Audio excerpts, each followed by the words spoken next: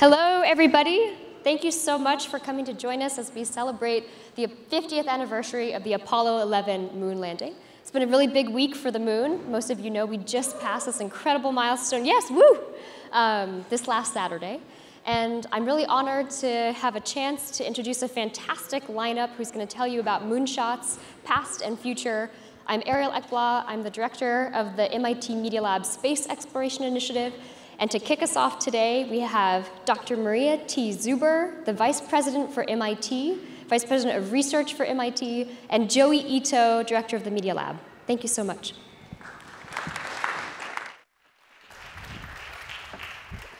Okay. Uh, hello, everybody. Um, glad you're all here. So, um, as Ariel noted, we had an incredible anniversary um, this past week of 50 years since human beings first uh, walked on the moon. And, uh, and, you know, now we're talking about going back to the moon. Um, we're teaming with uh, Blue Origin as part of their Blue Moon program to take a payload to the moon. So watch for uh, that opportunity, and we hope that many of you will propose to be a part of that and compete uh, on it. Um, but I want to turn the clock back uh, 50 years to talk about John F. Kennedy's speech, which I think you're going to see in a few minutes. And uh, so John F. Kennedy gave that speech, and it's an incredibly uh, famous speech where he challenged Americans to land on the moon and return safely within a decade. And at the time, we didn't have the faintest idea how to go to the moon. Okay? So if you were one of the first astronauts, you had a 50% probability of living through uh, your uh, mission because we had uh, launched two Vanguards, didn't work the first couple of times, the next two worked, put an astronaut in the third one. So the, the probability was 50% at that point. And yet we went, okay? And, um, and so while this speech is incredibly fa uh, famous, um, this was just the first of many speeches. So last month, um, there was an event at the JFK Library commemorating the 50th anniversary of the Apollo 11 landing. And throughout the day, um, we saw clips of many JFK speeches talking about the importance of going to the moon. And um, and what we had during that era uh, was first and foremost leadership. Um, and, and second of all, we had uh, the desire to learn, both science and technology. So, interestingly, um, the, the JFK um, event was all panel discuss discussions, except for one part where there was a talk about climate change being our next moonshot. Okay, and um, and you, you know there are so many people who think about climate change and says it's a global problem. It's so difficult. How are we going to do it? Well, the fact of the matter is we didn't know how to go to the moon either. And that didn't hold us back. And I see no reason why we should be held back on the climate change issue. So as we, we think about the role of space today, um, I want to raise the issue to you that uh, space um, is going to be an important uh, aspect of us getting a grip on the climate problem. And uh, all of you, I ask you to think in the back of your mind about how you're going to con contribute to this because it's going to take all the smart people to do it. But let me tell you, I think we can get it done. Mm -hmm. And I'll turn it over now to Joi. Yeah, so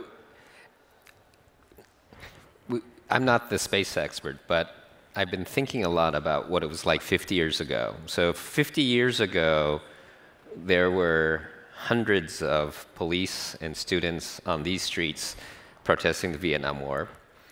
Uh, 67 was the summer of over 500 race riots and the Detroit riots. It was also the summer of love. And it, it was a really interesting moment where you have JFK, and then after that, uh, Lyndon Johnson, who brings both parties together to attack both this moonshot, but also really going after all of the problems that we had that are in really weird ways very similar to yeah. the divided uh, uh, nation, divided world that we have right now, the wars and things like that. So there's this really interesting uh, historical symmetry that we have. But our problems are different, right? Our problems are now climate and the earth. Um, and like Maria said, I was just at this conference where people were just talking and talking and talking about climate.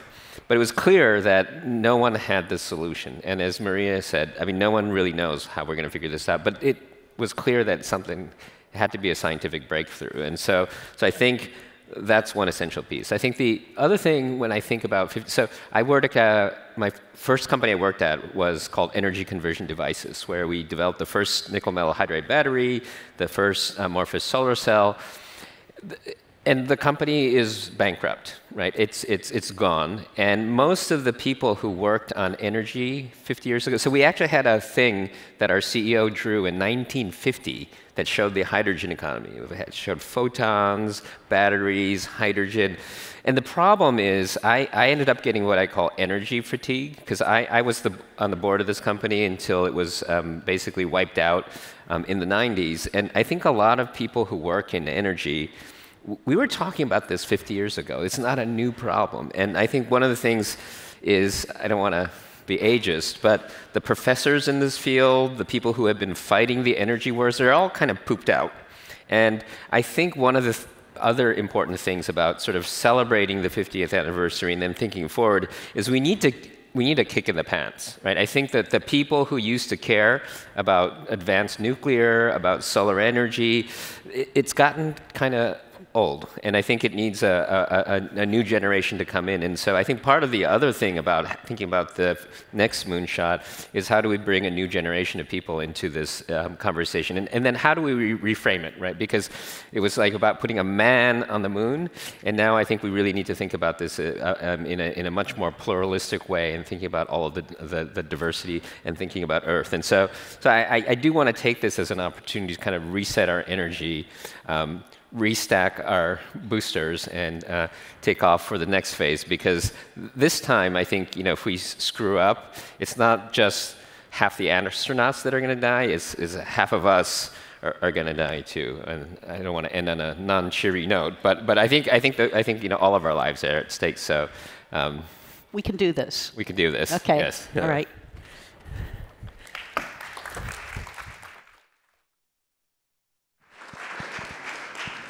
Thank you so much, Joi and Maria, to have kicked off the day for us. Our next speaker is going to be Steven Rothstein. He's the executive director of the JFK Presidential Library and has these troves of both historical and modern impact from the JFK legacy. He is on his way here and stuck in traffic in the tunnel.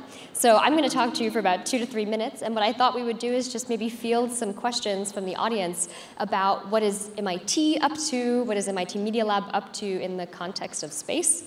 Give you a quick overview of the Space Exploration Initiative here at the Media Lab we are trying with the incredible advisors like Dava Newman from MIT Aeroastro, Cady Coleman from NASA, retired NASA astronaut that you'll meet later, Maria Zuber and Joi, to build the artifacts of our sci-fi space future.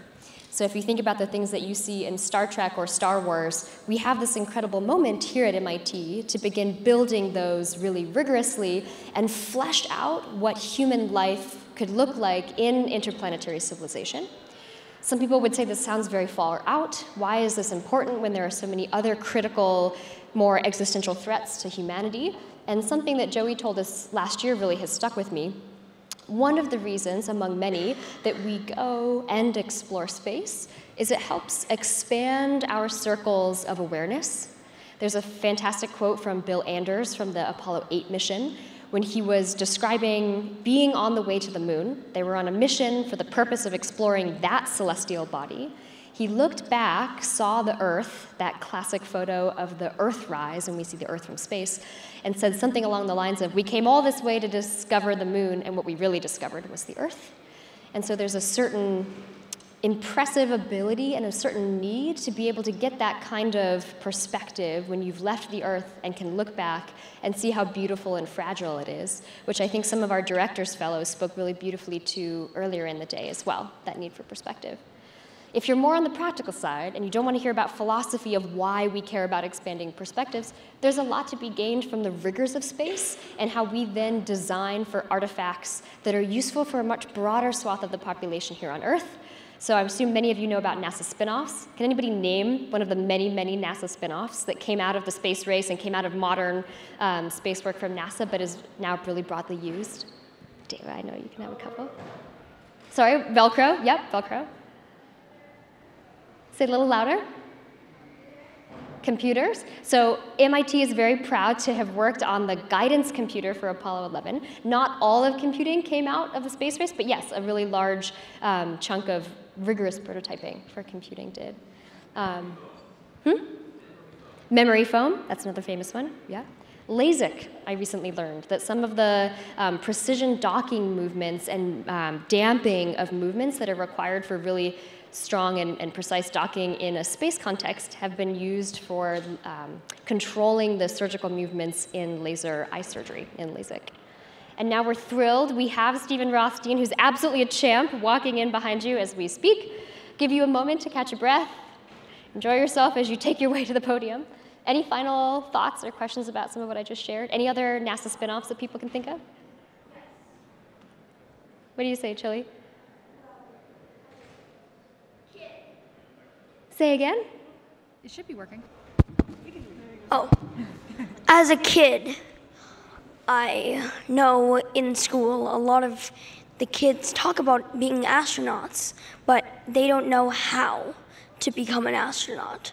So I've been thinking, how will we be able to teach the Mars generation how to become astronauts? I think that's a fantastic question. You should be part of that answer.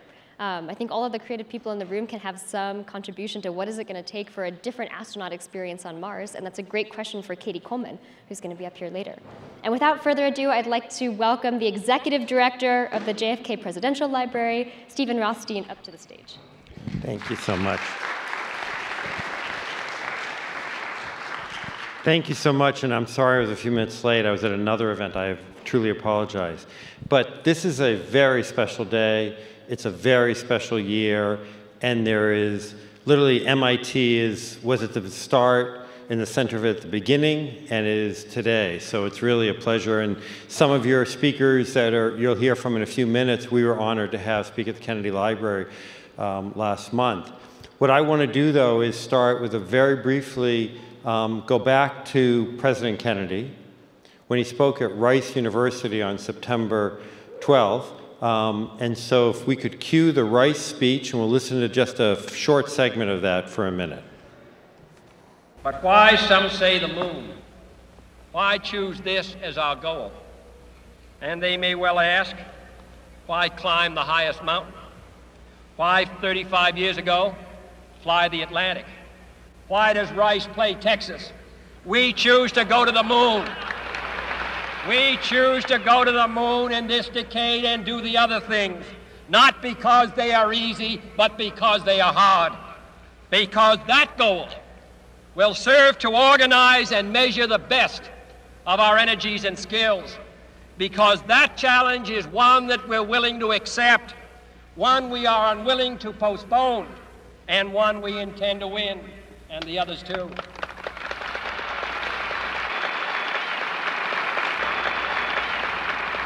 We shall send to the moon 240,000 miles away from the control station in Houston a giant rocket more than 300 feet tall, the length of this football field, made of new metal alloys, some of which have not yet been invented, capable of standing heat and stresses several times more than have ever been experienced, fitted together with a precision better than the finest watch, carrying all the equipment needed for propulsion, guidance, control, communications, food, and survival on an untried mission to an unknown celestial body and then return it safely to Earth, re entering the atmosphere at speeds of over 25,000 miles per hour, causing heat about half that on the temperature of the sun, almost as hot as it is here today, and do all this, and do all this, and do it right,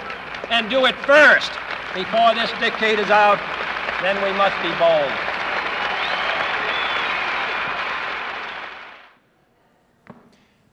It's always a hard act to follow President Kennedy's remarks. But just to put it in context, um, there are 80% of the people alive today, including most of you, who were born after the Kennedy administration. So when John Kennedy said that speech, the word computer software had not been invented. There was no such thing as software. That no college, not a single college in the had computer science as a major. Some of the alloys needed for that capsule had not yet been invented. There was no one in government or private sector who not just said we could get to the moon, but showed pre the President Kennedy that there was a plan. Um, in fact, the only capsule that had been up was Alan Shepard's, which the capsule actually, if you want to come to the library, you can see it, it's there, had been up for 15 minutes. In um, and so we were talking about, he was talking about going, you know, a quarter of a million miles away. So it was lit, the literal moonshot when you think about that. Not just was it technologically challenging, but financially. When NASA started in 1958, it was a, the first few years when John Kennedy was first uh, uh, inaugurated, it was a $100 million agency, small by federal standards. And the first 17 people that the administration interviewed to run NASA turned it down. It was a do nothing agency. They didn't know what the mission was, they weren't sure where it was going. This, what about the moon? Would it be manned or not manned? None of these have been resolved. So John Kennedy heard about this, President Kennedy heard about it, he says, I'm going to interview who's the next person. Uh, and it was this guy named Webb. And so President Kennedy interviewed him which was actually very unique for a president to do kind of a sub-cabital le level at that point. But convince, and, and, and Webb went to Washington telling his wife, says, I don't really want to do this, but the president wants to meet, so I have to go meet. Um, and President Kennedy convinced him. And thank God he did. He did a great job in terms of that. President Kennedy worked on the public awareness in terms of why do ticker tape parades? To kind of get people's hearts and minds. Why give colleges computer science uh, scholarships, some of the first grants came from NASA because he needed computer science people, and he, let's do it now so in four or six or eight years they'll be ready. Um, and then in terms of the money, we went from $100 million a year to billions of dollars a year, and over 400,000 people in, in NASA, public, private sector working on this, including some of the folks at MIT and some of the folks at Draper and others that, that did a great job. So John Kennedy had a vision, but what his brilliance was in galvanizing people, bipartisan, um, uh, business and universities. You know, why is NASA in Houston? Because a, it was a great place, but B, because there was a right congressperson on the right committee that would have an influence on dollars, and he wanted to get their support too, as well as the vice president. So he understood all the tools to make it happen. At the John F. Kennedy Library, and if, if you haven't been there, I encourage you to come, we're trying to keep that spirit alive. We had some of your amazing folks that are here today they were fortunate, we were fortunate that they spoke a month ago, and it's on our website, uh, space, uh, uh, the, the Space Summit. We also, so we've had this year 10 different astronauts in the course of the year and highlighting work. And we've also done educational work and things like that. But I'm going to show you another brief video that gives you one of the things that we've done. It's an augmented reality version of Apollo 11 that I encourage you to, to join us with. So for the other video, please. Good morning and welcome to the John F. Kennedy Presidential Library. We're here in Boston, Massachusetts today to celebrate a very special event. 50 years ago today, the Apollo 11 mission was on the launch pad. The Saturn V rocket carrying the first humans to touch the moon was ready to go. And it really was um, about inspiration, wasn't it? was, It was about one man's vision for what could happen and then pulling it all together. John F. Kennedy gave this speech and had this idea, and it was sort of this thing, this seemingly impossible task that we were attempting to accomplish. They didn't think this was going to work. They didn't know that this was possible. And maybe it made other people think, well, if they can do that, what can I do? Absolutely. Right? And then maybe that's that's what it's all about. That's what it was about 50 years ago, and that's what it's about here today. It was a moonshot. Absolutely. And today we're going to do it again, except through augmented reality. So we've actually got the full scale length of the rocket in front of us, and you can play all kinds of different games. We also have a really special guest with us today. We've got Dr. Lupo. he is a big deal. Kind of a big deal, honestly. yes. Yeah. You said you wanted to be an astronaut when you were a kid. my dream job. You know, we all have, yeah, a lot of people want to be veterinarians and doctors and stuff like that. I wanted to go to space. NASA, I called you an astronaut. let's do it. Will you allow that? Like, is that Call me. okay? It's a once in a lifetime experience, and to be able to recreate it, it's pretty magical. Let's do this. We're gonna get the countdown. All the phones up in the air. There's 10, 9, Nine, 8, eight, 7, 6, six, 5, four, three, two, one. There it goes. The Saturn V rocket straining Really against the bounds of humanity. This is people coming together, what we can accomplish whenever we work as one. This was amazing. This was beyond what I ever could have expected to feel it, to see it. It's just amazing to be here at the JFK Library is that much more special.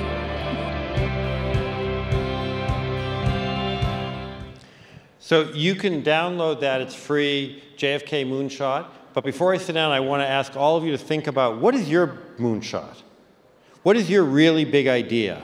And we have actually a site on our website at JFK Moonshot that we're encouraging people to submit their big ideas because we think our country has to come together again and think of whatever the next big idea is. So again, thank you for all that you're doing, and I look forward to listening from the back. Thank you so much.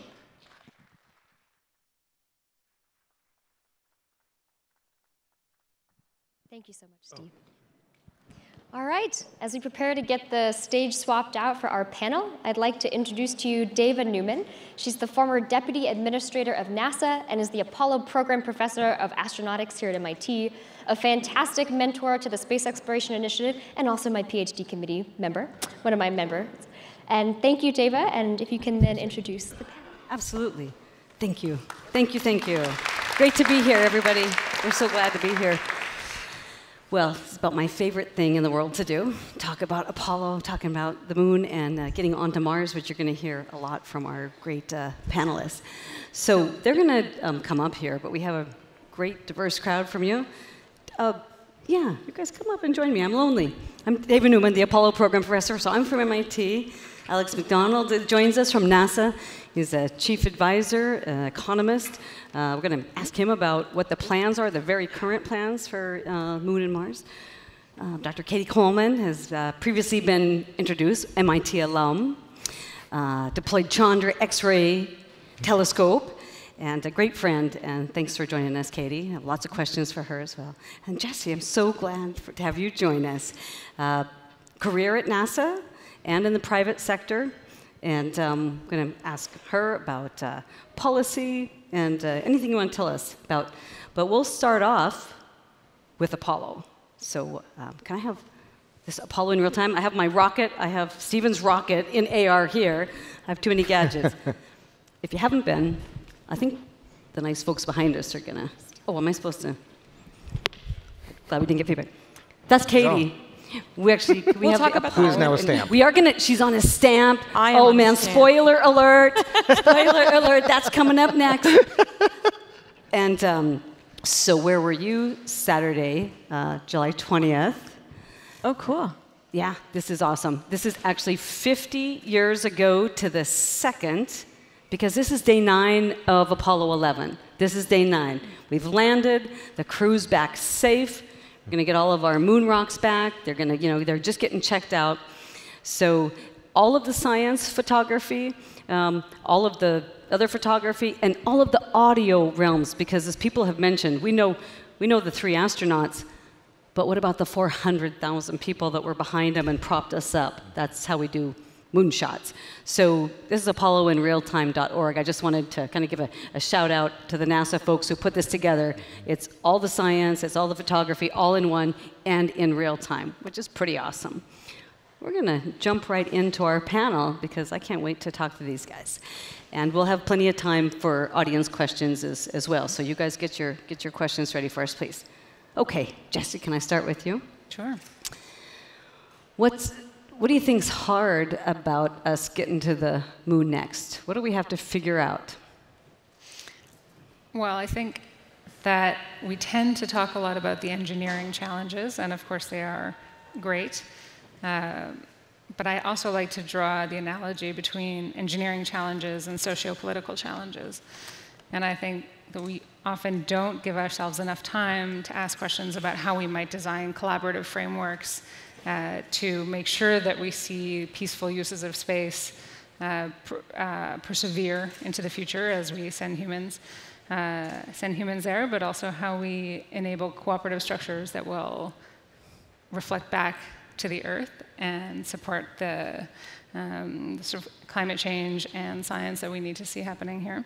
So it's not that the socio-political challenges are more challenging than the engineering, it's that they're getting a lot less attention. I think we tend to assume that we can wait until we've solved all the technical stuff, uh, and then we'll just, you know, put an LLC around it and, you know, call it a day, and I think there's a lot more to it. Do you think we have any good examples?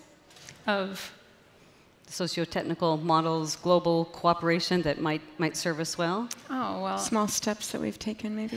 yeah, I mean, I think the world is full of a lot of uh, diverse examples. Um, I think the main thing for us is looking at each of the uh, specific projects we undertake as, uh, as not homogenous and uniform, but as needing their own sort of specific treatment. So uh, when we look at, for example, early activity on the moon, I think one of the questions is going to be uh, to look at having a small group of, of, companies or governments who are going there and what kinds of cooperative frameworks make sense for, for small numbers. So we're not talking about you know, um, the entire international community of actors.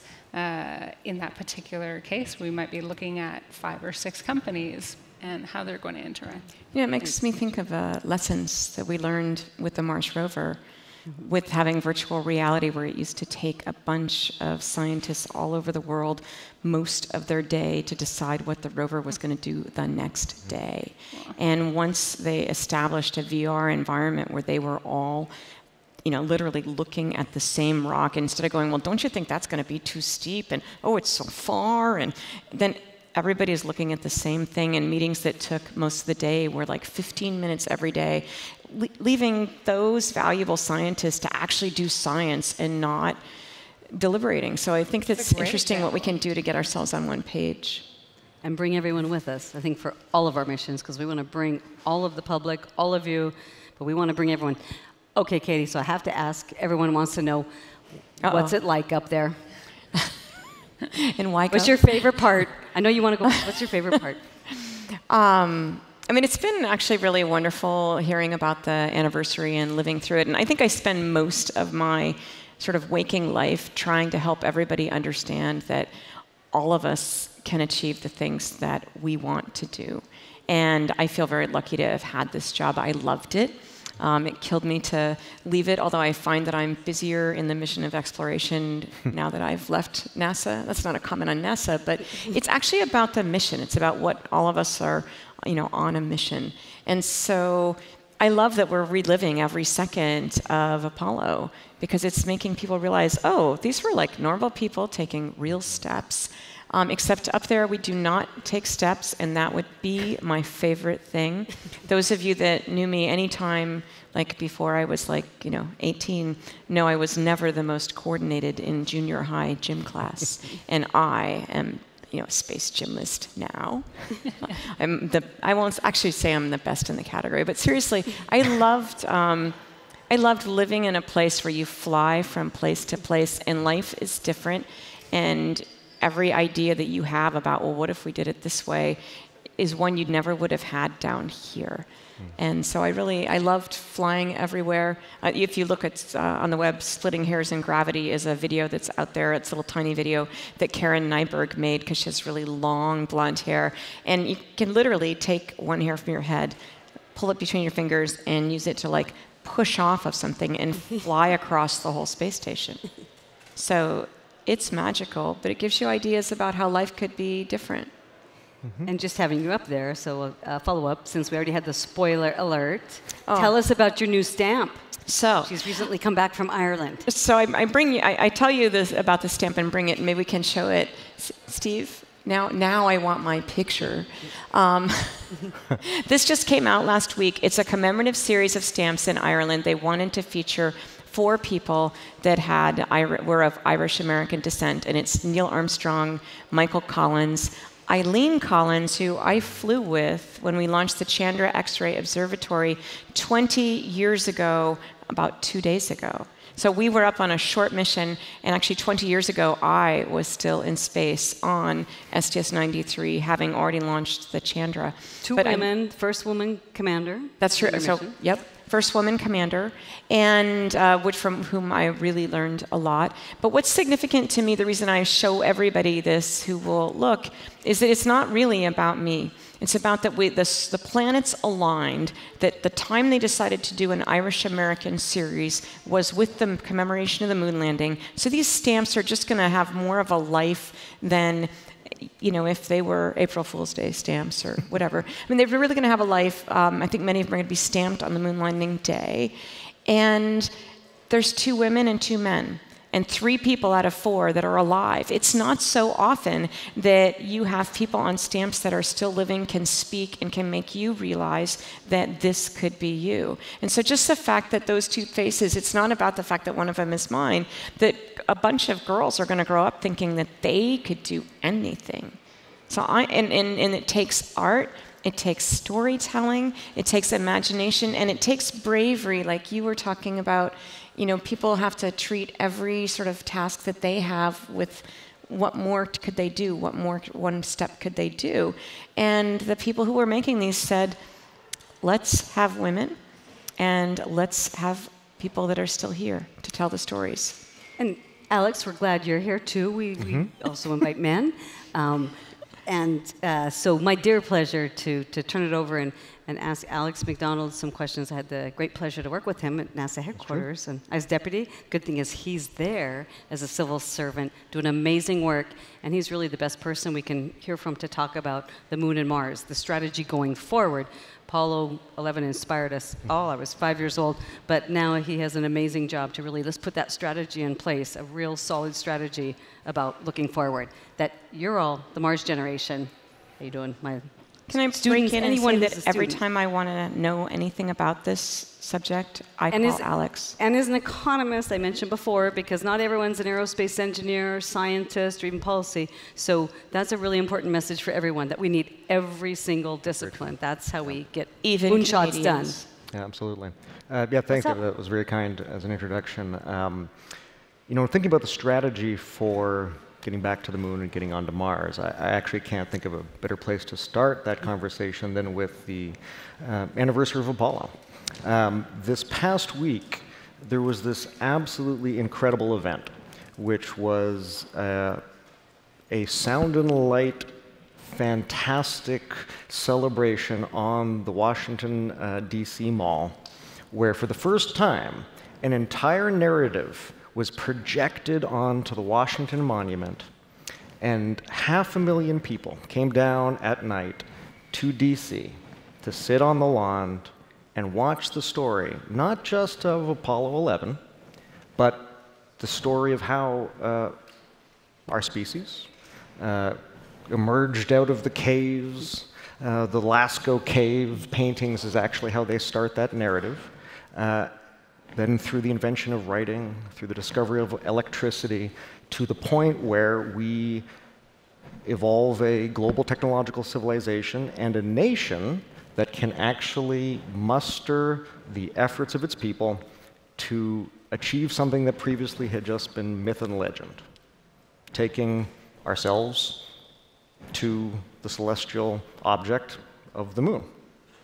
And what was so amazing about that event was that people just basked in it and felt so united on that mall. It was one of the best feelings I've ever had in Washington, D.C., which may tell you something else about D.C., but um, it was just so freeing for everyone who was there.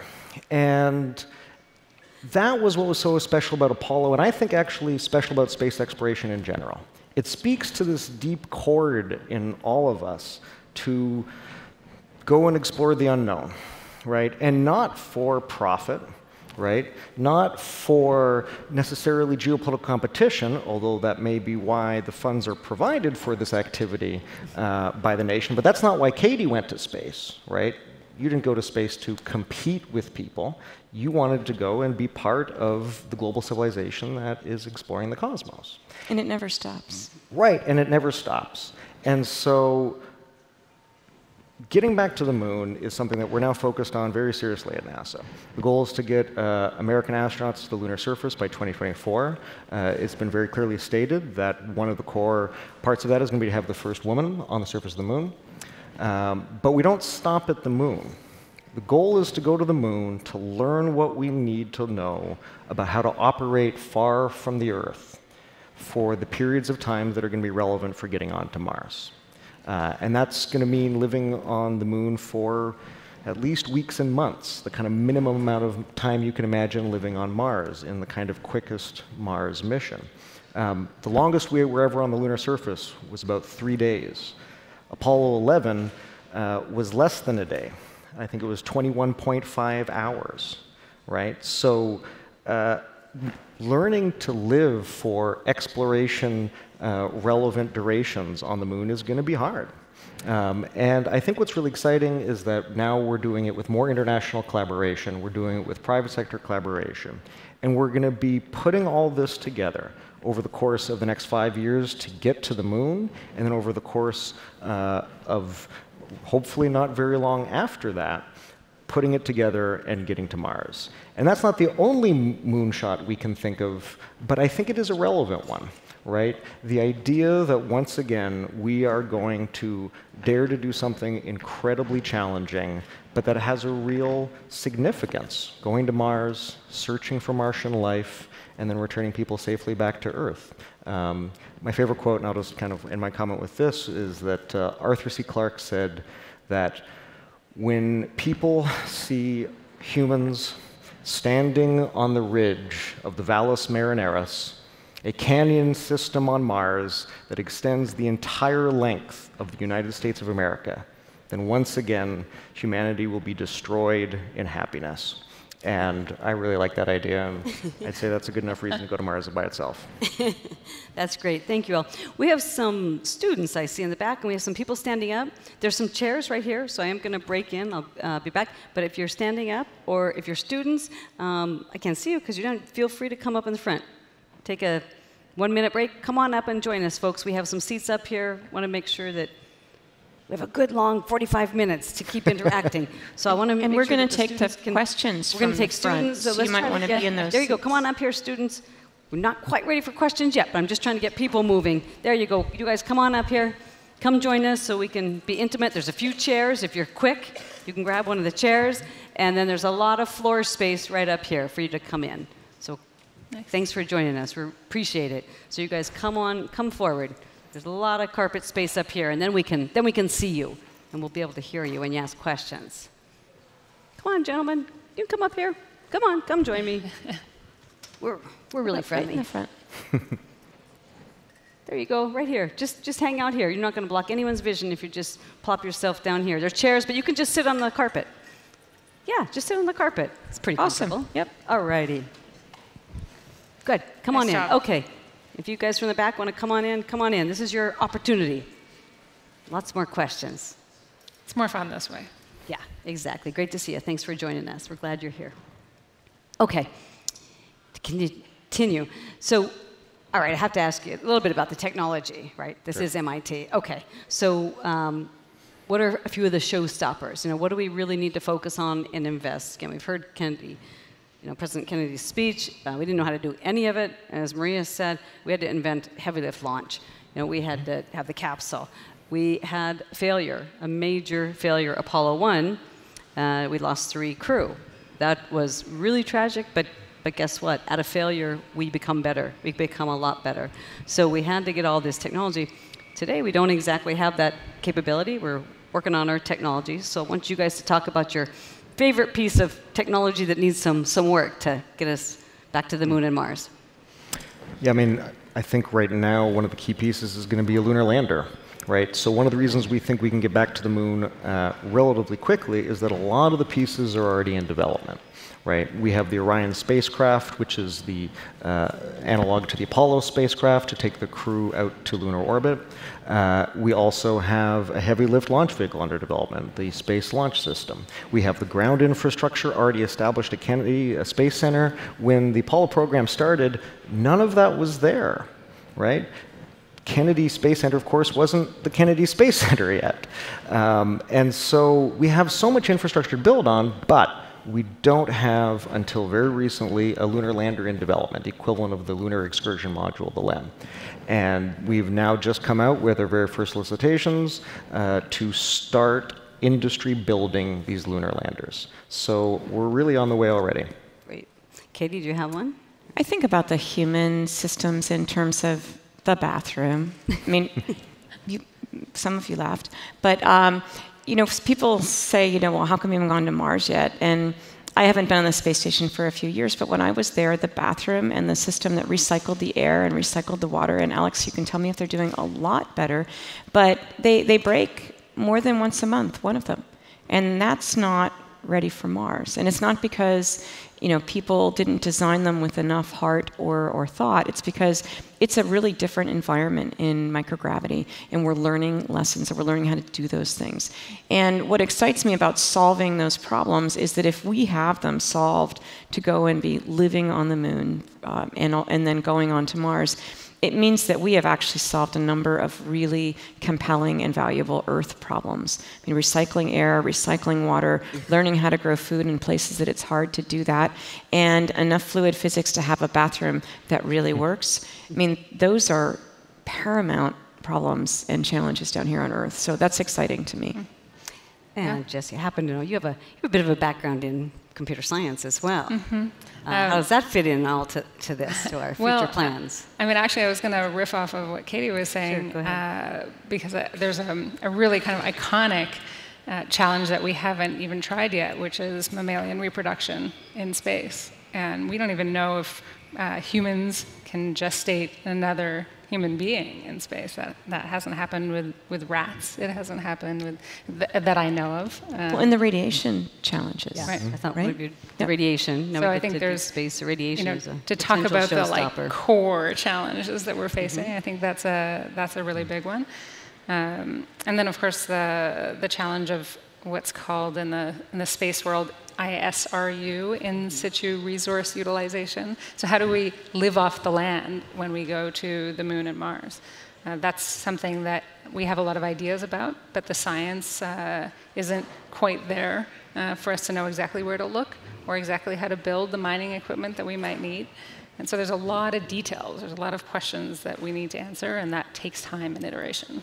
And, I think that there's things that, like in terms of 3D printing, and we're, we're thinking about like what do we need to really bring to the moon and what could we build there yeah. given what we find there and i think somebody like me that learned about 3d printing when they were 50 is able to have a certain number of ideas but you who grow up thinking it's normal to think i'd like to have this i think i'll make it you know those that's why the, the game, the sort of playing board is going to be very different.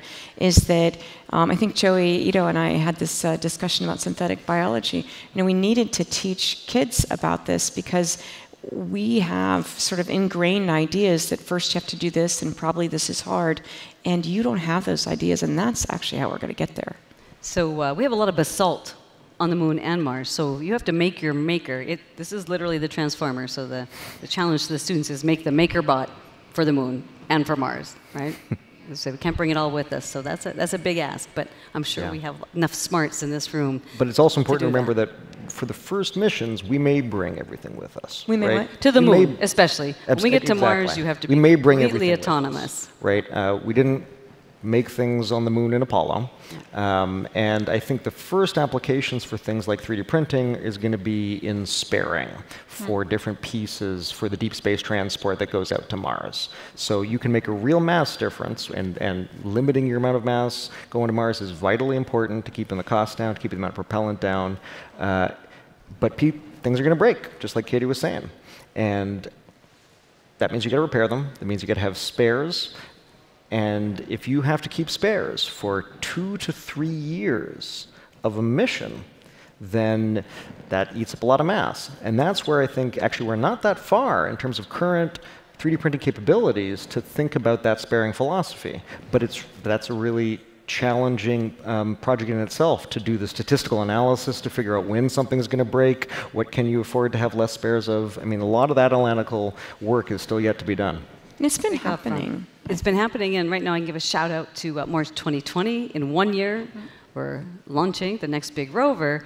To, to Jessy's point about ISRU, in situ research utiliza- resource utilization, we're going to make oxygen on Mars, first planet. We're ever going to make oxygen for the first time, and that's that's the MIT MOXIE experiment that, that's already all buttoned up, delivered to JPL, and it goes uh, next year as a mission. It'll arrive in 2021 because it takes us eight months to get there. So I'll, I'm going to ask a few more questions. You guys getting your, your uh, questions ready. But I'm going to switch a little bit. And um, I just actually, I love, uh, I love the, the name of our panel, To the Moon to Stay. yes, we're going to stay. We can talk about that. Um, but most importantly, from the moon, with love, with love for humanity. So I'm going to turn it back over to Jess and see. Let's, let's talk about that. Uh, let's talk about the emotional, the personal uh, connection from all of exploration. And we might also, and reflecting, the, the moonshot reflecting back on the Earth. Interesting. Um, well, I think the going off of your comment about Mars, actually, I was just thinking we often hold the moon and Mars as kind of either or, and you know, in the space community, uh, often there's the moon people and the Mars people, and where do we go first, and um, and who's right, and and the same, I think, um, uh, sort of dichotomy exists between the Earth and the moon, especially these days as we become more aware of, of the urgency of, of climate change and of, of fixing the problems that we have here. And they're not just climate change problems, they're also political problems or problems of scale uh, and coordination on, on Earth. And, uh, and so when I think about it's a little bit of a riff on your question, but uh, the kind of the meaning of space, and it's also, I mean, you talked to this as well. Um, I think this this um, kind of playing them off of each other. It doesn't have to be one or the other. It's not an either or choice. Um, and somehow I think that space often gets uh, uh, described as uh, something that is an either or choice. When we don't talk about other forms of kind of advanced science and intellectual exploration as an either or, so if I think about biology or chemistry, uh, it's not that we would choose to either solve our problems on Earth or um, do material science. You know, we, we would do both, and we would sort of naturally say, well, of course, the material science will probably inform uh, solutions to our problems on Earth. Uh, but we often, uh, we somehow, I think, maybe because space is territorial. I don't, you know, space is a physical place, so it's easy to think about it as either going or not going.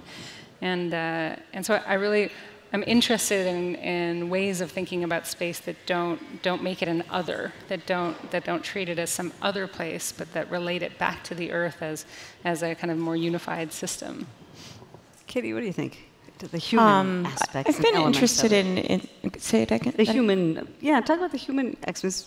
Aspects of. We watched President Kennedy's speech, right? I don't know, but I almost cry every time. I mean, to me, Such a great you know, that's again, it's just the best that brings out the best in people. It's incredibly emotional, you know. So I don't think we have to have hard skins and think about this. Really, this can really move us. So Mm-hmm. And, and there's something, and I'm, I'm, I'm looking at our friend from the JFK Library, in that speech when he says, you know, we, we choose to do these things not because they're easy, because they're hard, we're going to accept these challenges, we're unwilling to fail. And there's a line after there, I can't quite remember, but it's, it's basically, and hopefully these things will be the basis of collaboration between nations. Mm.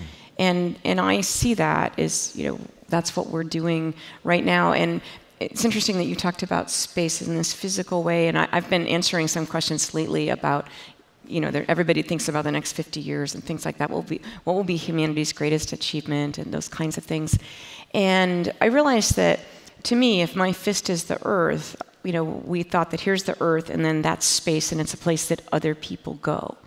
But now we've figured out how to go there, and as someone who's been there, I realize that it's it's a continuum. It's always been part of who we are. Mm-hmm. And, and how far out you go, whether it's to the moon or to Mars or the edges of the universe, or whether you're a Chandra scientist, you know, studying black holes, you know, very far away, um, it's all our neighborhood. It's all the place that we live. It's a continuum. And one of the ways I think to share that is you know, modern communication and better and better mm. video and storytelling and ways to share. Um, in, in your, uh, where's Ariel? Her last panel from the Media Lab, one of our astronauts came, and we don't get to hear each other talk very much. It was Tony Antonelli. And he said something that very much surprised me. He said, We have done all of you a huge injustice. And that is that we talk about the view from you know what it's like, but we have not communicated what it feels like to have that mm. view. And here's a pretty straight ahead engineer kind of guy, and I, th- I really I was impressed by that. Right. So I think we have to work at ways to do that. And your VR way to experience Apollo, mm-hmm. what you talked about on the mall, I've heard about mm-hmm. from others. Right. I mean, so we, yeah, we have the tools, mm-hmm. and we just have to point them in the right direction. Motions, the love, exactly. I love uh, Mike Massimino says this as well, and it's a you know true story. It's in his book when he looked after Apollo. Was, I mean, it was in a Hubble Hubble Space Prepare. He looked, and it was too beautiful. He turned away. Hmm. You know, with a tear in his eye. That's how emotional. That's how beautiful. And he said, "Wait a minute, no, wake up! I gotta look." but that's how all-encompassing it, mm-hmm. it, can be. You know, we call that the overview effect. Yeah. Yeah, I mean, it just it, it, makes me think of a couple of things. One is, uh, in addition to the event on the mall, there was uh, an event at the Kennedy Center uh, that the National Symphony Orchestra put on, and you want to talk about kind of uh, coming back from the moon with love. The most amazing moment for that night for me was a song sung by Neil Armstrong's son and granddaughter. Wow called Flight of Fancy that they'd written, and it was not about their uh, father and grandfather going to the moon. It was about the love that they saw uh, in his heart when he flew gliders, of just being free in an engineless plane, soaring, uh, catching the thermals, and it just filled the Kennedy Center with just one of the most wonderful feelings. And it reminds me of kind of Buzz Aldrin's uh, kind of uh, statement, which was that, you know, essentially once he got there, it was like, man, they should have sent a poet, right? Mm. Because he didn't feel adequate to describing the sense of emotion that just overwhelmed him. Um, and of course, he's you know done actually an incredible job, actually subsequently, to explain to humanity kind of why it was so important. And of course, uh, we think of another uh, astronaut, Alan Bean, who of course was so moved by this experience, he became a painter right? And so, what I think is so amazing is that something uh, inside us kind of gets transformed by these otherworldly experiences. And what's exciting about the future is I think more people than ever are going to have that opportunity. And I'm really excited to see what's going to happen to humanity as more and more and more people start to have that personal transformation through exploration and travel into the cosmos. Transform, hopefully, our mind, our hearts, and that hopefully goes a little bit full circle in this discussion. Maria and Joi were here, and uh, again, back to, back to Earth you know, for sure a moonshot. There's multiple um, getting out, but uh, all of our exploration, I say, always just teaches us more about ourselves, ourselves on, on Spaceship Earth. We're all astronauts. So if you don't know how to be an astronaut, we're all astronauts. I'm here to tell you because we're going pretty fast around our sun right now. So we're all, you know, having this amazing journey. We're all astronauts, and then again, but uh, you know, what's your passion? You know, what's your big moonshot was was put out before. Uh, mine's getting people to Mars and uh, trying to save the planet. Uh, that's that's worthy of some time. Do you guys want to say yours real uh, quick? A, a moonshot you want to throw out there, and then I'm going to turn to the audience next.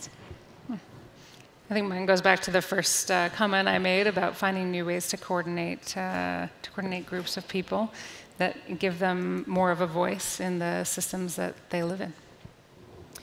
So I'm actually about the boring next steps. like I, I mean, I think that um, it kind of goes back to what Jessy said about each of us having, you know, something that we can do. And I think that if you left with anything, and, and, other folks might have suggestions after we do moonshots, but you know, what is the thing that you can do that can change the way other people think about their abilities, their ability to contribute, or the solving of a problem right then. And for me, you know, I mean, I happen to have a you know a high presence just because of the job that I have, and so doing a PBS thing where you know, they end up for asking me for a comment about all the different kinds of people who made Apollo happen. And I, and I start talking about Katherine Johnson, the mathematician, and Margaret Hamilton, the woman who coined the, the word software engineering, and on and on. And they said, well, you know, we'll be showing Apollo footage in back you. I said, let's show Margaret and Katherine. Yeah, mm-hmm. And, you know, and they're, and they're like, well, we have to have, do you have photos? I go, I have photos. They go, we could have this afternoon in good resolution. I go, absolutely. and, you know, and so it's like this little next step, or instead of having me on some show, why don't you have me and five little girls that don't look like me? And so it, it's having the bravery to ask people to do hard things for a cause that's bigger than all of you. Mm. And, and so I urge you to think about what are the things that you can sort of speak up about and, and make happen because that is how the moonshots that we're talking about will be achieved. And um, to end, you know, my, my moonshot usually has to do with if we've done all these amazing things in space, I'm really excited about what it means for people and their health and their ability to um, be inclusive one, of one another down here on Earth. Because if we don't have inclusive teams, we're not we're not going to do any of the things that Alex talked about. None of them. Yeah, I mean, as a bureaucrat in Washington, D.C., I'm not sure I'm allowed to have dreams. Um, Dream away. um, but in all seriousness, um, you know, one of the reasons I, I, work at NASA is that it is um, a dream to see NASA still fulfill the role of inspiration and discovery and exploration 50 and 100 years in the future, just like it does today. Because if it can do that, if NASA can be an institution, it's only 60 years old, right? 61 years old this year. But what happens if NASA is an institution that is 350 years old, right? Uh, what will that have meant for us, and how will NASA's existence as a symbol and an institution continuing to progress at the frontiers of science, technology, and exploration. That is a dream, right? We are not guaranteed that. That's really important to remember. Um, we have NASA because the people of this country pay their taxes. And they want some of those taxes to go to technological investments in the nation, right? And that was not a thing that existed, right, prior to these kind of Kennedy-like moments. Of course, it emerges from the Eisenhower administration, but it reaches the scale of social impact under the Kennedy and Johnson administrations. And so it really is actually a dream to see NASA, for all of us, continue to be a global leading organization that stands for science and technology and international cooperation. Excellent. What's on your minds? We're opening it up to you all. Please tell us who you are. Oh, throw, we have this nice Media Lab square microphone that we throw in it. It's soft. Is going some? Go ahead. Hi, how does this work? Oh, Ooh, okay, I see how it works. Automatic. All right, uh, my name is Julian. I'm a rising sophomore here at MIT.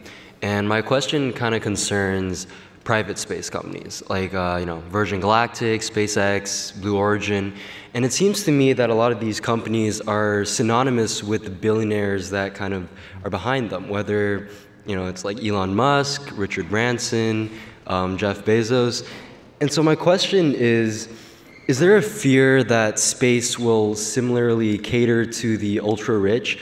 How do we address um, how do we make sure now that space development doesn't end up reinforcing the same inequalities that we see here on Earth?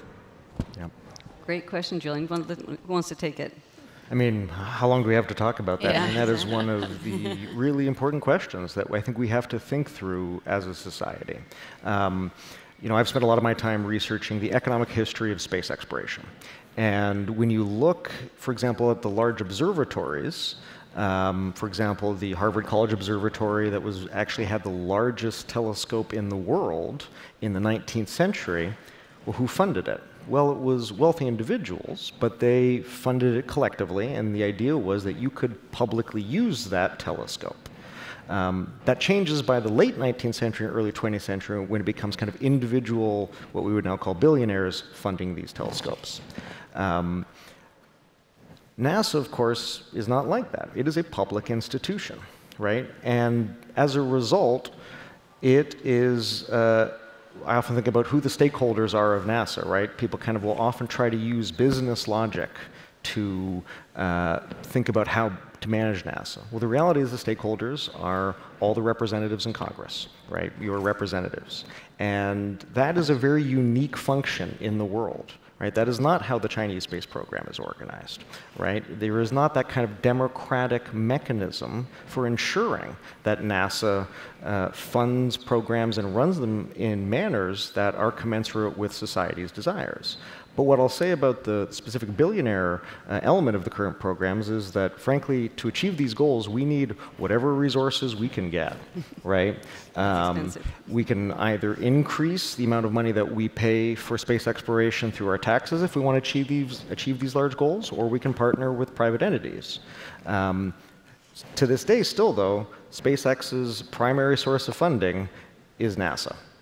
Um, and that's the reality of where we are. At the same time, we want to see a flourishing of private capabilities. And as I've kind of said before, you know, this is the balancing challenge. How do we ensure that our space exploration programs both uh, serve public ends, if public dollars are being used to support them, while also allowing individuals to explore and spend their funding in ways that are commensurate with individual liberty, right? And this balancing problem is not a new balancing problem, it is the balancing problem of all of society and social life. So Um, so yeah. Well, uh, just just to to play with that a little bit, uh, it is a balancing problem, uh, but I think your observation is is also kind of appro- appropriate in the sense that uh, the the balance of actors is certainly changing pretty significantly today, and so that has a lot of implications for who might be kind of out there taking uh, various kinds of first steps in the next decade or 2 And, uh, and it's not just that uh, they're not necessarily governments, but they al- there also might be a lot more of them. It might be that there are more and smaller actors. Uh, it is also the case that the billionaires can probably build infrastructure uh, or sort of set the stage in ways that small actors can't. So all of a sudden, the kind of systematic dynamics are a lot more complex. Um, and so I think a lot of people are asking the question that you're asking, and I certainly don't have that answer, but some, some thoughts and some kind of uh, conversations that, that I think are happening in the industry right now are that um, what we see are folks referring back to uh, something called the Outer Space Treaty, uh, which is um, a very lovely treaty. It's only about five pages. Uh, I highly recommend reading it. Uh, and it is sort of the defining and singular framework um, that we have in the international community for governing activities in space. Uh, and it's not very specific. So, uh, in terms of what we can do now, I think it's looking at how we can flesh out the open questions that, that the Outer Space Treaty um, kind of leaves, leaves open and ask how we can actually um, kind of get to the specifics of regulating and governing ourselves in space when and if governments are not necessarily the, the only or the dominant actors there. I was going to say that Alex um, mentioned that we kind of need everything, and I'm more of a glass. I'm sort of not more of a, but I'm a glass half full person. That, and, and some of these um, billionaires fly on the Soyuz and come to the space station. And in my experience, and there's been about a dozen, something in that number. In my experience, every single one of them comes back here and tries to see what they can do with that experience to spread it around. And then with these um, private companies, it's really pretty wonderful to have this kind of diversity. Like when I was in at NASA, I was in charge of supply supply ships for the astronaut office. And I would tell people, you know, those SpaceX folks, sometimes they make a decision and they don't even have a meeting. I mean, we have a lot of meetings at NASA, and it's very inspirational to us to be able to do things in a more direct way. We kind of go, hmm, maybe we'll try some of that. And, and I think they learn some things from us, but more importantly, they can take risks with hardware that we can't take. I mean, we have some Absolutely. big thing happen on the pad, there's going to be an investigation. Things are going to stop. People are going to question, oh, should we be taking those risks? What if we failed? I mean, all those mm-hmm. things, right? And they can take bigger risks, and when they leap ahead, they bring us with them.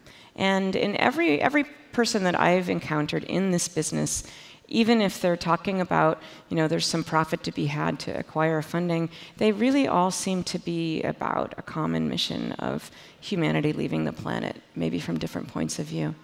Great. Actually, can I, Thanks. I sort of one other thing to say. Sure, throw it in and then let's toss the ball around. We'll Great. back to the hand in yeah, the back. Just, just a quick, quick, one, but uh, I think it's a bit tautological perhaps, but I think sometimes what we see is a narrative that uh, it will, this future will be for the billionaires, and therefore people decide not to engage in the topic of what should the future look like.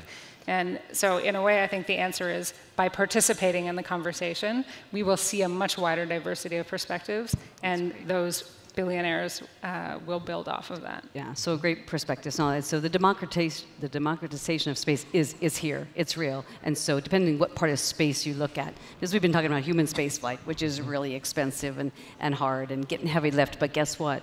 Uh, you know, uh, all the communications, uh, you know, on your on your phone that uh, you're dealing with, and so the democratization. Every country is in space. Back to the uh, the treaty. Go to the UN if you're not familiar with the treaty. It's the United Nations you know, Committee on the, use, the Peaceful Uses of Outer Space. And uh, Daniel, what is it today? 85 countries, 120, 92. We have 92 countries who are part of that. That's 92 countries. So it's not that you have to be a spacefaring nation. Not everyone today. If you can build a CubeSat, you're a spacefaring nation. You know, so it, this democratization is real. It's happening. It's fantastic because it makes it very tangible and puts it kind of right in your hand. So it's great to see 92 nations saying, we're in. I think the, the so everybody have the beanie back there? Oh, great. Hi, I'm Chloe, and I'm going to be a sophomore in high school. Um, in terms of space exploration, what do you think has been our greatest failure, and what can we learn from it? Mm. Um, okay, you guys can think. I'll, uh, I'll, I'll, start. That's, that's a great question, Chloe. Thanks. So when I was at, at NASA, I gave an award for failure because uh, people run around with this T-shirt that says "failure is not an option," and that was great for Apollo 13. It was really important, but um, this it's become kind of a risk averse, and so I wanted to make sure and say, no, no, we do our best. Actually, we fail, fail, fail, and then we get it right. So uh, I know about lots of failure. engineer, I fail all the time. What's a one of, uh, but again, the kind of failing in order to learn something. So that's I just keep it. You guys have your favorite, your favorite failure, the most important one. The they're not my favorite at all. The um, shuttle accidents, mm-hmm. the um, Challenger accident, and the Columbia accident are um, uh, really, were really, um, I guess, important. Uh, people sacrificed, astronauts sacrificed their, their lives. The loss of life, life on those uh, missions is almost unthinkable, but um, you know they did it for us. I think the end result of those failures, we can't make a perfect aircraft. We can't make a perfect space shuttle. So we do our best. But when they sacrifice, to me, that's the ultimate sacrifice. When we have our astronauts have lost their lives, I wake up every day and say, guess what? You know, I have to do better. I have a better engineering solution because you're trying to always do better. And so that's, those are failures that, um, you know, have been uh, pretty critical in, in NASA's space mm-hmm. program. Um, not, not telling, not going to the trouble to tell all the stories. Hmm. Um, because so many, it, it, takes so many creative ideas to solve the challenges that we have today. And, you know, to look a little harder to take, I mean, take more pictures.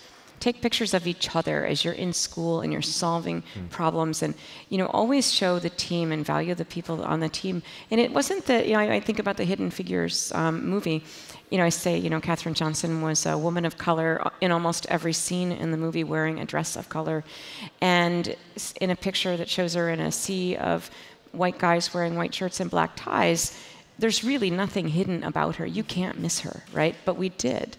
And I like to look forward from that and just say that in every picture that you can take, whether it is, you know, Alex and 10 people that look like him, there's somebody in that picture that feels, everyone in that picture feels like there's something about them that people don't know, something that they have to bring to the table that's hard for them to bring to the table, or they don't quite believe, or they don't know.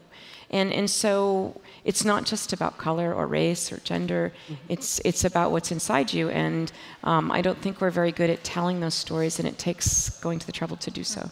Do you guys want to comment? Don't, we don't have I, to. Uh, yeah. Please. The thing that came to mind for me uh, is something around our failure. I mean, actually, I'm going to step back and say, similarly, failure is hard because I think there's two ways of defining failure. There's something that you don't do correctly, and then uh, there's something that you've maybe failed to learn from. And I think that's a deeper kind of failure and maybe a more interesting one to, to um, inspect. And I, as a post Apollo uh, generation, um, person, I think I feel a failure of uh, humanity to build off of the Apollo program and to keep some continuity happening. I mean, we almost don't know how to go back to the moon. Mm. Uh, we don't have the same technology we had during the Apollo program. We don't have the same capability. Sorry, we have the same technology, but not the same ability. Mm-hmm. And uh, I think that's a huge loss. Like, if we could have even incrementally kept building off of what we did in the Apollo program, I think we'd be in a really different place today. Yeah. And I, agree with all of this, and I'll just add one more, which is I think there's a kind of um, failure to be patient, which oh. is very common in. It's almost the opposite who, of what I was saying. well, right, but you know, in classic fashion, both can be true yes. simultaneously, yeah. right? Um, because I think there's a lot of folks who get very frustrated that we don't already have the moon base, right? Um, and yet, the reality of how we got to the moon is a story that almost begins in the 1630s when the first stories about traveling to the moon and building machines that could do that start. And so, that process of getting to the moon, uh, you could either think of it starting with the Kennedy speech, which is one way to think about it, or you can think about it as a story that starts 300 years earlier, right? And people had to iterate on the idea and wait for conceptual knowledge to develop and wait for industrial capabilities to develop until that dream could finally be realized. And I think that's true for all of space exploration. The story of space exploration is not going to be what happens in the next 50 years or 100 years. It is, in theory, a story that has no end. It is a story that extends out into eternity, right? And if you think about those timescales, it's really very challenging to then get frustrated and ask a change of direction of a $21 billion agency because something didn't happen within a particular time frame. So uh, yes, uh, encouraging actually, patience. Uh, that, that first, uh, what, 300 years or so was, uh, was also mostly through art. Yes, I mean, absolutely. it wasn't the engineering, it was yeah. the, the, visioning, it was the ability to, to construct these potenti potentialities. Yep of the future. See yourself there. Yeah. We all have to see ourselves yeah. there. And if they hadn't done that, then the engineers probably wouldn't have, you know, actually gone and trying to solve the problem when they when they could. Actually, I brag about Dava all the time in that I think the first thing you do when you have a new project is you hire a graphic designer. Yes, look at this amazing artwork going on there, because that's the story, Yay. right? Yes. We're up here. But uh, shout out, shout out to our graphic illustrator and artist because those, those pictures are what will stay for the you know for the time. But if people don't have a vision how do they know that they should be on that team? It's not always visual but there's a spirit and that's where we actually yeah. come back to you know from the moon with love. I think there's something mm. that happens to all of us when we gaze at the moon and as somebody who's been uh, separated from her family quite a bit something that kind of comforts us in a way is that we all see the same moon. Same moon exactly from everywhere on earth right? And it's beautiful. Next question Hello. Okay. Uh, my name is Joseph Zhang, and uh, I run a program called uh, Future Hack. And uh, we have uh, 50 students from 14 countries here today. Wonderful. So thank you very much. Um, I'd like to um, kind of ask, kind of in this narrative, um, in, this, in this politics and narrative of, you know, kind of more isolation instead of more openness. Um, can you tell us about like how space uh, exploration and space tourism is going to open so much more opportunities for, for these young people. Yeah. Sure. I can. Uh, I'll start. But you know what? I'm going to start with the fun. Uh, I want to know what 14 countries we have here. So we're going to do a race of the countries. Okay. We have U.S. here. Yeah. Shout out. You students, tell me where you're from. Shout out your country. Japan. Hong Kong. Cool. Hong Kong. Hong you, guys, Kong. you guys, if you hear them, shout them out. China. China. Nepal. Nepal. Nepal. Germany. Germany. Pa- do we have Pakistan? Pakistan. Pakistan. Canada. Poland. Hungary. Turkey. Turkey. South Africa. Ah, South Africa. Cool. We're close to 14, not quite there. Come on. Oh, India. Yep. Have Italy back there? Good. So welcome, welcome to everyone. So I love the question. Um, we can talk about it. It's, it really is uh, for everyone. It's global. You know, this is a. I don't think it's a space race anymore, in my opinion, because uh, the world is too connected. Not too connected, but we're very connected. we know what each other are doing, and. Uh, because of the in the spirit of love and doing things together you know why don't we try the model where we can all work together? You mentioned the, the rhetoric that's going on. That, i say uh, that conversation's cheap and easy. It's easy to say what separates us but you know we're all humans. We all come from the same place. And if we're 99.999% the same then I th- i'm very optimistic i think we can get this done and i think we do it together Or you work on the things that you have in common or that you can work on. Like with China, it's actually a little bit, res- it's restricted in some areas that we can't talk about. So I like to talk about the ones we can. But maybe Alex will have a more pessimistic view of that. No, I don't even want to touch that subject currently. Um, the optimistic story, I think, is uh, that CubeSat technology has fundamentally transformed access to space around the world. Uh, back in the day, in the 60s and 70s, people would develop space capability. You know, every few years, a new nation would expend significant amount of effort and have an, their first satellite. Nowadays, we're literally seeing, you know, new countries every single year build their first CubeSat. Personally, my favorite story that's going on right now is the all-girls team in Kyrgyzstan that is building their country's first satellite. And we had that- an elementary school build their own CubeSat and sent it up. But so it's so- for everybody. It's Right. for everybody in this audience for sure. Right, and, and what's so amazing about that satellite project, and, and it's again, it's to build a CubeSat, it's about this big, it doesn't do too much more than send a radio transmission. But the girls who are building that, that satellite in Kyrgyzstan, it is creating significant social change because that is now a narrative that that country is telling itself about how that country does technology and advancement. And that's just one story. There are dozens like that. So I think anyone who's from a country that has never built their first CubeSat, uh, and you have the ability to go back home, start an effort to build a CubeSat there. It is one of the greatest ways to actually democratize space access because it's not about just traveling into space, it's about learning the technologies to actually be able to take yourself and your community into space.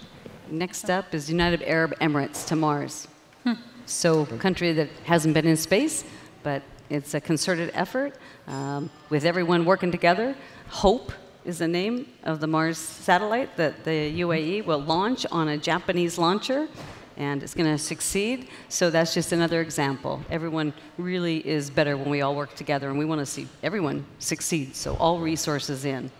I also think the uh, commercial world is kind of an interesting uh, element of this, where this might be a positive introduction or, or contribution from the commercial space in the sense that you have, again, this uh, actors that can collaborate in ways that nation states often can't.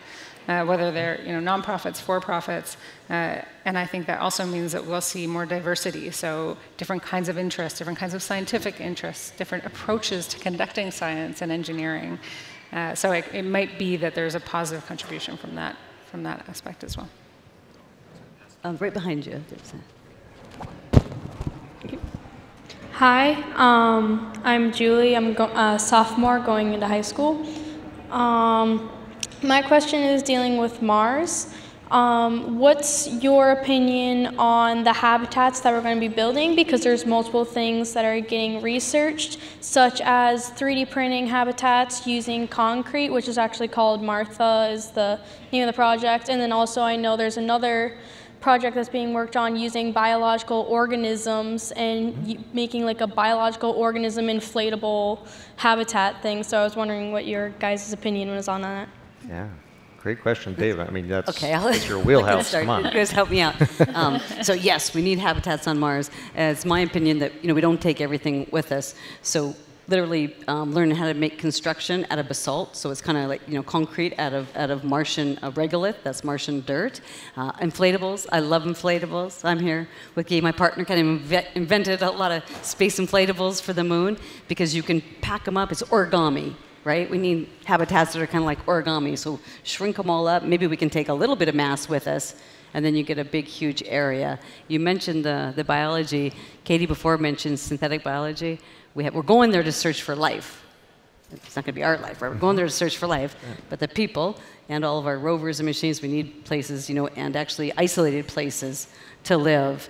And um, uh, keep studying the biology and thinking about that because how, do we, how are we going to find life? How do we know we found life, organics, things like that when we get there? And biology and synthetic biology is just a big picture. Just, you know, that's the technology going forward. My favorite uh, little story today is actually uh, one of my students is looking at, you know, boron nanotubes. Why? Because they might have radiation protection for, for humans. So it's a different way to look at it rather than living underground in lava tubes to stay away from the radiation you know, maybe we can think about these interesting solutions, habitats in the suits, Mm-hmm. all of that kind of stuff that help help keep our, our astronauts and, and people alive. So great question. Do you want to work on it? Um, not specifically. I want to be an astrophysicist, um, like so working with black holes. Okay.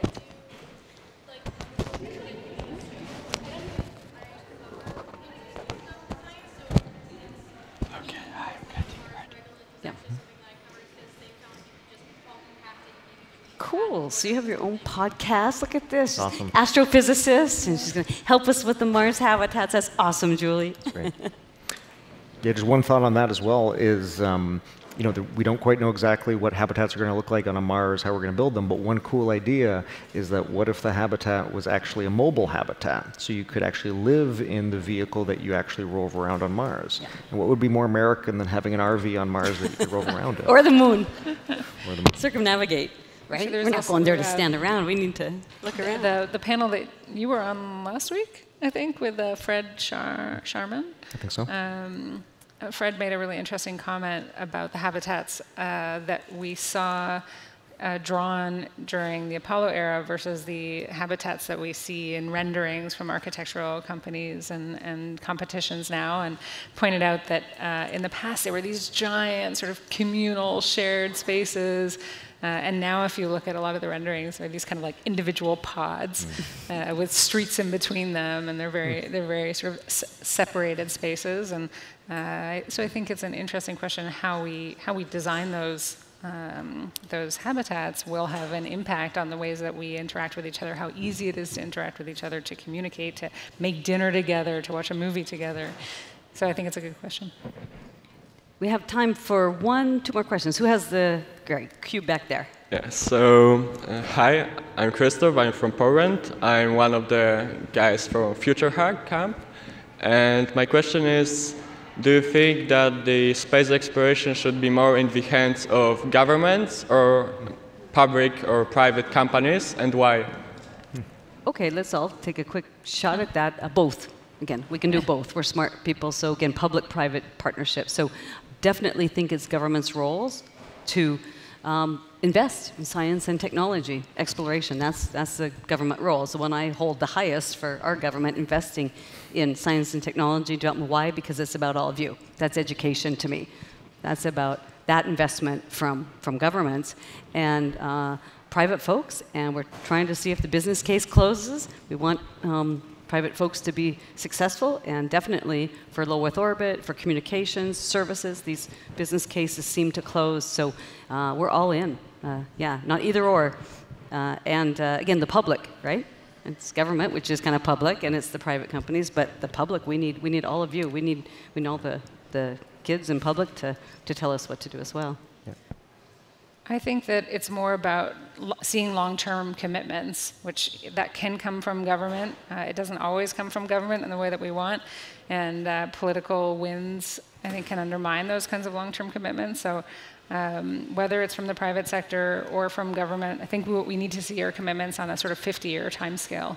And a, an example that was just used um, in another event I was at recently was looking at Alaska, the purchase of Alaska, and how actually I think this might have been Alex's mm-hmm. example. Mm-hmm. So sorry, I'm still. Wasn't, wasn't one I analogy, but it was at the same discussion. Yeah. But it was, um, you know, the purchase of Alaska looked like a really bad investment in the kind of typical venture capital return timescale. So on a you know five or even ten year timescale, uh, it didn't return very much value.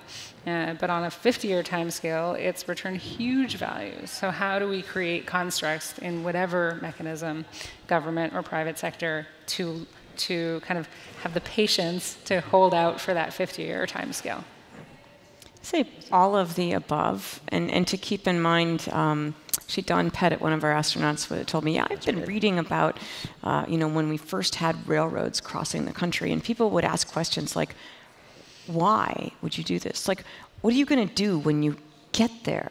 And what, what, what advantage is there to go there? And, and yet, you know, now it's, it's everywhere and we think it's really normal and we use airplanes and things mm-hmm. like that too. And so, you know, always challenge your imagination. I mean, public-private partnerships are, are hard and government operations are hard. They're all hard and yet they just take our imagination to kind of figure out that little way to make yeah. things happen. Absolutely, yeah. I mean, I would agree all of the above, but I'll also just you know remind us that uh, private doesn't always just mean corporate. So uh, the origins of kind of funding at a public level in the U.S. for astronomy, uh, you could kind of argue that they started with an organization called the Cincinnati Astronomical Society, which was set up in the 1840s by a guy named Ormsby MacKnight Mitchel, and he went to the city of Cincinnati and he encouraged the people to fund the world's largest observatory by public subscription because he argued that because American was a democratic country and had no kings or queens, the traditional patrons of astronomical observatories, that the American people would have to fund the telescope themselves. And so they formed a private society. It wasn't the government, it was people by association coming together hmm. to work on a shared outcome. Right? They weren't there to make profit, they were there to create a capability for the city. And they didn't get the world's largest telescope. They only raised enough money for the third largest telescope, which was pretty good for Cincinnati in the 1840s. And as a result, for a brief period of time, the citizens of Cincinnati had access to the third largest telescope in the world that they themselves could use, not to do science, but simply to access the heavens, to mm. use it to look at the wonderful nebula, to look at the planets, right? And so that's a model that's neither corporate nor is it a kind of federal government right? So there's a huge range of ways to organize to achieve space exploration, and so it's going to have to be all of the above. Great. So uh, to the moon to stay, and uh, from the moon with love, Alex, Cady, Jessy, thank you so much, and thank you to the audience for your great questions. Thank you.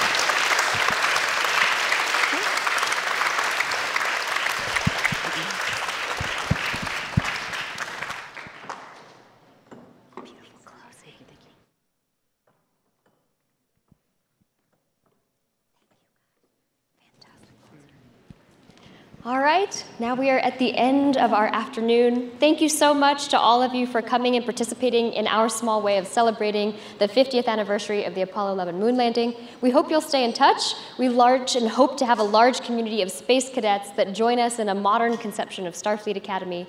Please stay in touch, please reach out, and um, enjoy your time in the Media Lab. We're really happy that we had so many students coming today as well. Thanks.